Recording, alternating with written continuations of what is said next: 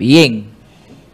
Como yo todo lo agendo, el día 13 de mayo, yo dije aquí en este programa, y mucha gente me quería arrancar la cabeza, que los gobiernos del PLD han sido los gobiernos de mayor estabilidad económica en toda la historia democrática de la República Dominicana. Y cuando hablo de la historia democrática, estoy hablando de 1962 para acá. Eso no lo discute nadie.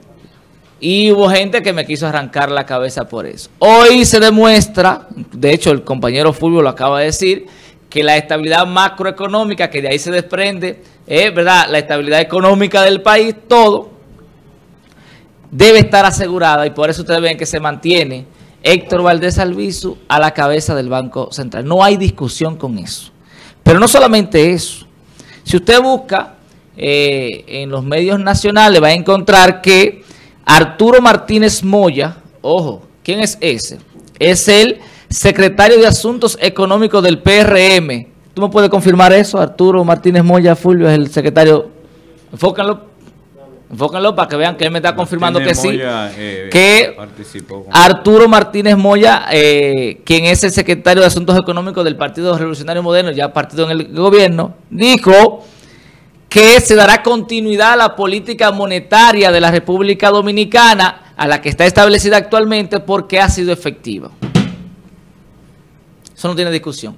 Y con eso se confirma lo que yo decía anteriormente y, retaba a cualquier persona que, a que me desmintiera ese aspecto. Ciertamente estoy de acuerdo con que esa estabilidad debe sentirse en todos los sectores, que a veces como que no llega a los sectores de abajo. Eso es importante. Ahora bien, Felicitar a Luis Abinader por estas designaciones porque vemos que está eh, desde, el principio tomando decisiones no populistas en ese aspecto, ¿verdad? No partidaria necesariamente porque quizá había gente que estaba soñando ahora con ese puesto y vemos que Luis Abinader está apostando a la estabilidad, a la gobernabilidad, a la continuidad de Estado y eso es muy importante en un, gobernante.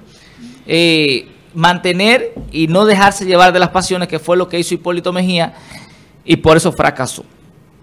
Ahora bien, y esta parte sí es sensible. Yo digo aquí que cuando yo vengo a hablar, no vengo para hablar aquí ni a analizar un tema, ni a comentar un tema para caerle bien a un grupo. Eso no me interesa.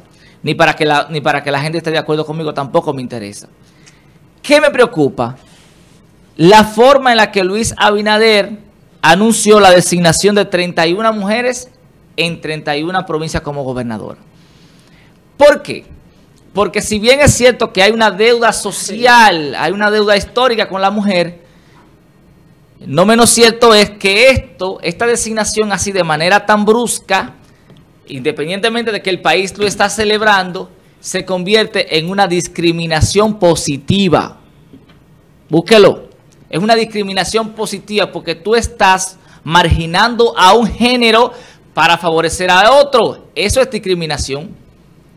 Eso es discriminación. No porque necesariamente haya que darle espacio a las mujeres, haya que nombrar a toda la gobernadora. Lo que debería hacer es que, si usted quiere que sea equitativo, porque recuerde que una cosa es igualdad, otra cosa es equidad, pudiera ser que Carolina y yo, que somos de género diferente, y es mujer, yo soy hombre, pudiera ser que tengamos igualdad.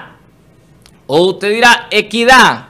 Quizá la capacidad que tiene, que tiene ella en un aspecto no es el que yo tengo pero la capacidad que yo tengo en un aspecto no es el que ella tiene y por tanto no pueden ponerla a ella en un puesto donde yo quizás pueda ejercer mayor capacidad que ella o a mí ponerla en un puesto, ponerme en un puesto donde ella pueda ejercer mayor capacidad que yo por una cuestión de género. Es un error y al final del, eh, eh, de este gobierno se van a dar cuenta de lo que le estoy diciendo.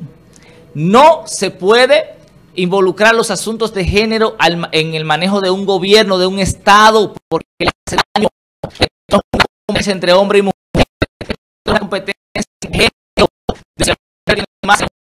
Por eso yo digo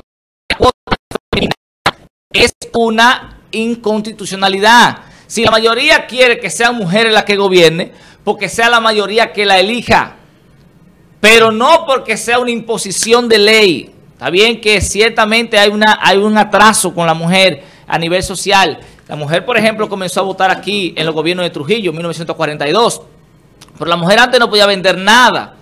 Pero ya eso eh, lo, hemos ido superando y, la, y las mujeres están ocupando puestos importantísimos en la República Dominicana. De hecho, son la mayoría en las universidades, lo que significa que en poco tiempo la mujer ha logrado ocupar espacios de gran importancia. Y, esperamos que para el 2024 sean mujeres las que dirijan, por ejemplo, una candidata presidencial, pero que también salga de la voluntad popular porque no puede ser por imposición. Pero eso es un tema bastante delicado que ahorita, dicen que yo soy un machista por eso.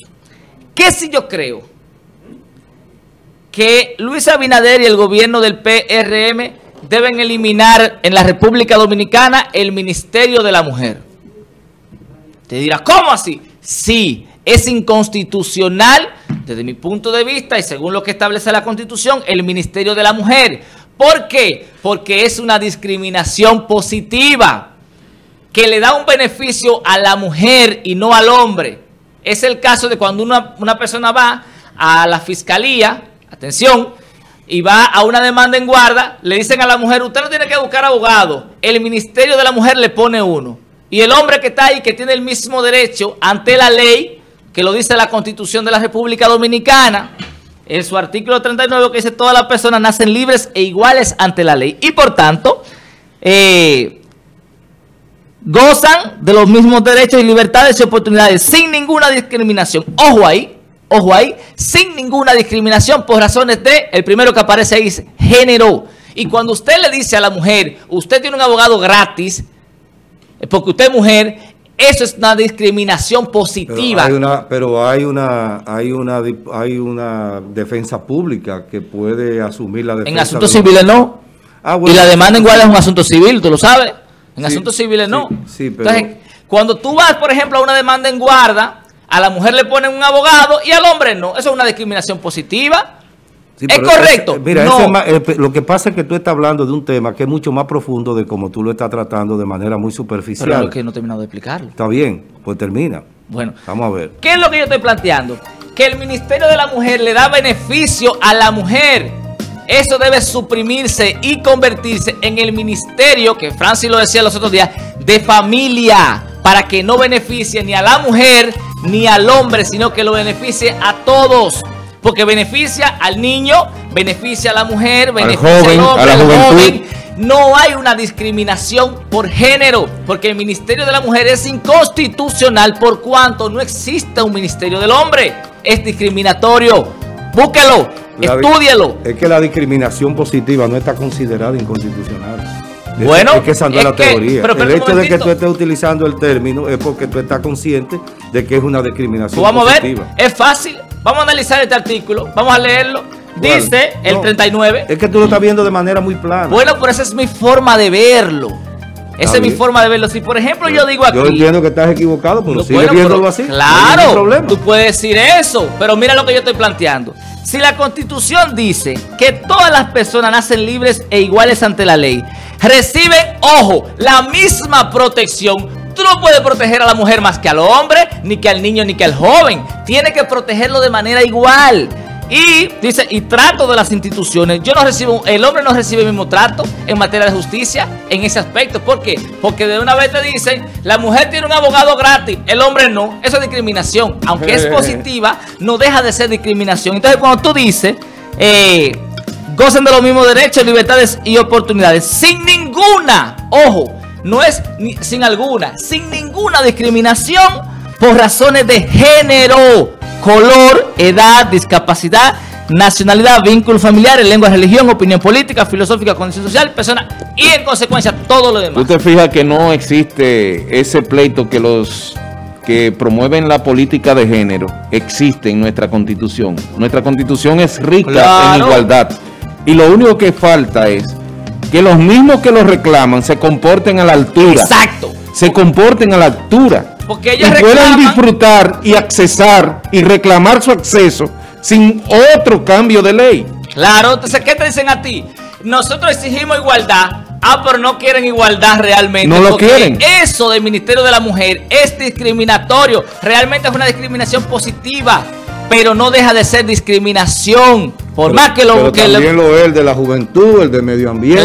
no, no, de medio ambiente no. de medio ambiente. claro, porque está privilegiando algo por encima de todo el resto. No, pero medio ambiente todo. No.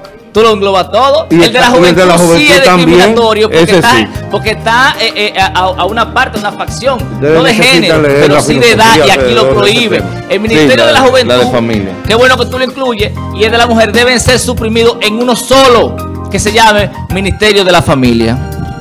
Yo estoy de acuerdo contigo, pero no por esa razón. Bueno. Yo estoy de acuerdo contigo con que debiera de fundirse, porque aquí hay demasiados ministerios que no hacen nada. De hecho, el Ministerio de la Juventud no hizo nada en estos cuatro años. ¿Qué ha Pero hecho? Robiani solo salió Sí, en, los no, no, días de las elecciones, No, no. en días previos No, a las elecciones. oye, estoy de acuerdo trabajó contigo, bastante. contigo, estoy de acuerdo con ustedes dos, pero no porque sea discriminatorio. Hay que estudiar un- el aspecto filosófico del Y, y sobre todo, Quieren seguir, quieren seguir en el programa, ya concluimos. Nos vemos. Mañana Ay, son las otro 10, día. señores, nos vemos mañana. Felicidades. Discriminación positiva.